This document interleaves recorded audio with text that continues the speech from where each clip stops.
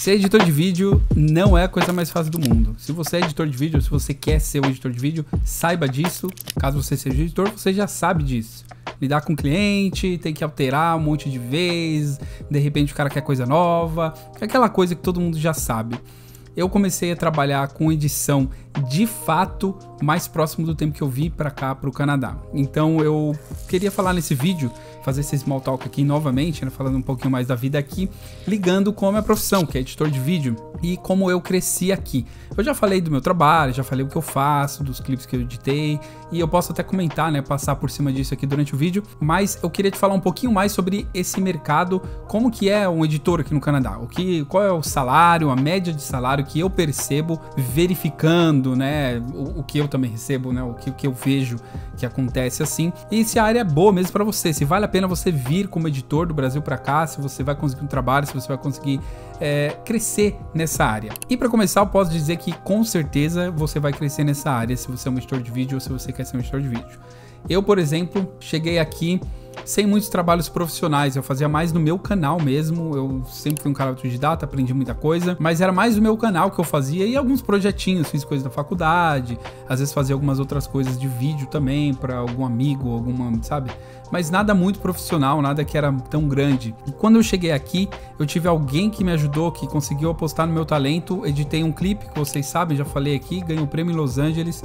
Ou seja, o primeiro trabalho muito profissional que eu fiz. Eu nem ganhei nada por esse projeto, foi mais para aprender coisas novas. Com câmera de cinema, eu enfiei a cabeça e cresci, cara. Depois disso, eu consegui participar de três filmes. Hoje eu trabalho na área de edição também. Continuo fazendo edição de clipes, estou editando mais um clipe da mesma banda, mas eu tô trabalhando focado no YouTube, na empresa, né, para conseguir visto, aquela coisa toda. Tudo isso me leva a crer que realmente a área vale a pena. Outros editores que eu conversei aqui já também, também se deram bem, entendeu? Tem brasileiros aqui que já foram para Toronto depois ou para Estados Unidos, porque arrumou trabalho lá, foi trabalhar em filme, acontece isso, ou pessoas até canadenses mesmo, mas o fato é que o Canadá é um dos maiores produtores de filmes do mundo. E mesmo que você não seja editor de filmes, você imagina como esse movimenta o mercado, né? Você tem filmes, você tem clipes de bandas, você tem empresas querendo fazer filmes, fazendo vídeos, né, pra internet toda hora. O YouTube paga muito melhor do que paga no Brasil, então as empresas querem ter canal no YouTube para também gerar uma renda, então o editor sempre vai estar tá aparecendo aí. E eu acho que um bom editor brasileiro é um ótimo editor aqui no Canadá, porque eles não têm tanto costume de, de ter uma noção de design como a gente geralmente tem no Brasil. Não vou dizer que todo mundo é assim, mas geralmente eu percebi isso. E a média de salário, sem enrolação, o que eu também percebo aqui, o que eu vejo, eu vou falar por experiência própria. Eu entrei aqui, o primeiro trabalho que eu peguei foi, foi tipo um freelance, mas era como se fosse contratado mas não é, porque aqui não tem carteira de trabalho. Então eu trabalhava full time numa empresa, recebia um cheque toda semana. Então esse trabalho não conta como um trabalho de contrato para visto, mas era um trabalho full time. Eu, eu entrei numa empresa que era de aluguel de câmeras de cinema para produção de cinema, de séries e filmes.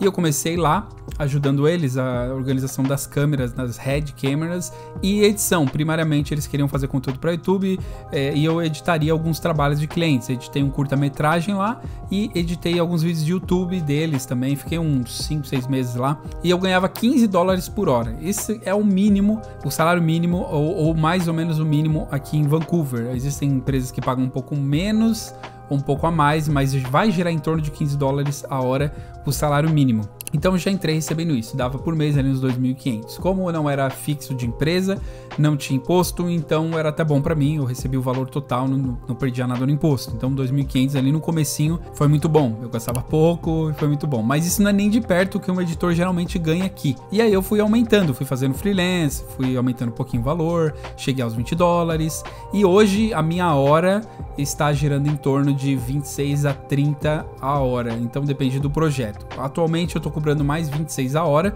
mas às vezes chega algum projeto de fora e eu dou valor de 30, 35, já cheguei a dar até 40. Isso aí eu não peguei, mas eu, eu dou esses valores porque a gente vai sempre tentando puxar um pouco para cima. E aqui o canadense é muito de boa com isso. No Brasil você tem aquela coisa de, ah, pô, mano, faz aí, mano, faz mais barato aí. Aqui não, o cara pergunta quanto é sua hora, você fala o valor. Se ele tem dinheiro, ele vai dar. Se ele não tem, ele vai falar, ok, obrigado. E é melhor para você, às vezes, não pegar trabalhos de clientes meio, né? Mão de vaca. Já peguei aqui, existe gente sim, com certeza, e dá muito trabalho, mais do que o dinheiro que você ganha, eu posso te garantir isso. E hoje eu trabalho numa empresa que me paga fixamente, pagar por ano é uma outra coisa. Eu não sou só editor de vídeo, eu faço outras coisas.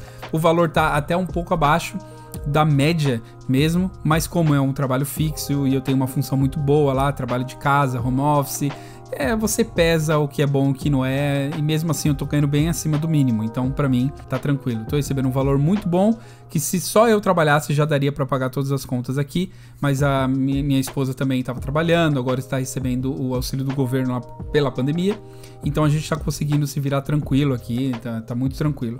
Um editor de vídeo, ele vai ganhar na média de salários do Canadá e da província de BC, né, de British Columbia, vai ser numa média de 28 dólares Pode ser menos, 25 a 28 eu diria, é, é, o, é mais ou menos o que tá rolando aí. Mas como eu falei, vai desde o mínimo, se você é novo aqui, se você está começando na área, ninguém te conhece, até você subir mais. Eu conheço gente que cobra 40, 50 até 70 a hora para editar. Isso vai mais do seu portfólio, mais essas coisas. Eu estou aumentando com o tempo. Eu já tive participação em três filmes, editei um clipe que ganhou um prêmio. Então, provavelmente, se uma outra banda, uma outra empresa quiser um projeto grande comigo, falar assim, pô, eu gostei, eu vi que você trabalhou nessas coisas, eu queria fazer um mini documentário aí, um comercial, como eu estou editando comercial atualmente e cobrando 26, uma outra empresa vai chegar, eu já vou subir para 30 provavelmente. Eu vou falar, ó, 30 horas, é isso, isso, isso porque você tem custos, né? Eu pago sites para ter coisas para usar de lá, de música, efeitos sonoros, visuais, para me ajudar a facilitar, ficar mais rápido o meu trabalho.